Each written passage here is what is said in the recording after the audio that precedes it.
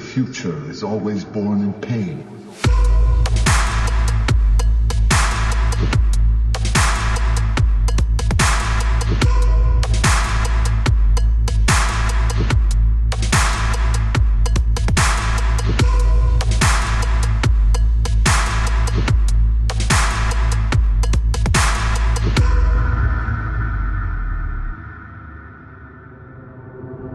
If we are wise, what is born of that pain matures into the promise of a better world.